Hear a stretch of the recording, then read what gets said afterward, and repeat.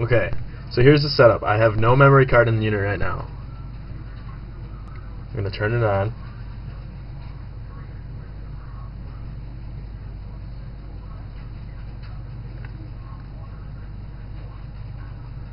See, if you can notice, no memory card. Okay? Now, if I push the memory card in from the memory card slot, you'll see that we have memory. This reads 389. Okay? Now, if I take it out, it goes away. But I have here a hooked up one from the straight from the memory card port. If I put this memory card here, I can get it to read.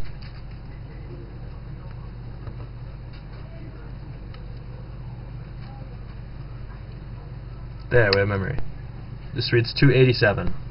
Now, you would think if I push this in here, they both would read. But it still reads 287. If I take out the memory card with 287, it's still there. Now if I go over to C and view the files, it disappears. Now if I take this one out, again, and then view it, there it reads the memory card. If you guys have any suggestions on how to get both cards reading at the same time, just uh, just let me know. Cause yeah, if you guys have any hints on on PSPs or anything like that.